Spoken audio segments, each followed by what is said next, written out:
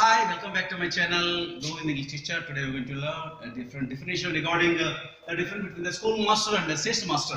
The schoolmaster says the brain, and whereas uh, the station master brings the brain. You know, because the schoolmaster that gives something and it teach, teaches and gives some knowledge, whereas uh, the station master and uh, knows try to know everything the departure and the arrival of the timing of the train. So this is the difference between the schoolmaster and station master. Thank you.